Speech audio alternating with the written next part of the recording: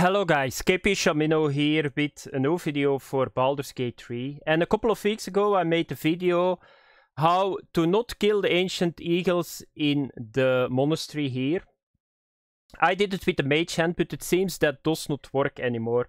So I'm going to give you guys a new solution. It's not always working because sometimes you trigger still the eagles, but if you try it a couple of times, it will work again.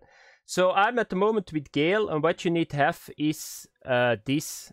So you need to get Minor Illusion, go to Stealth Mode, park Gale over here, very close to the to the hammer. So if you come in the in the nest, it will trigger the birds. So go to Stealth, use the cantrip Minor Illusion, put it over here.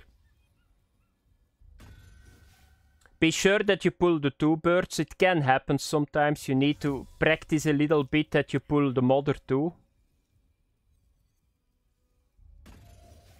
No, I need to try it one time more.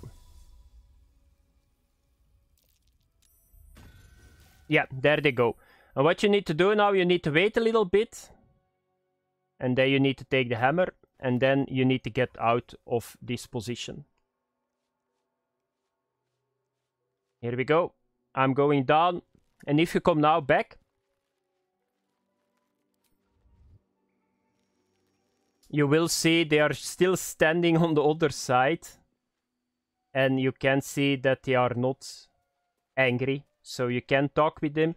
And in my backpack, let's have a look latest. You can see that I got the ceremonial Warhammer. So that's what you need to do after the patch that we just had. And this still works.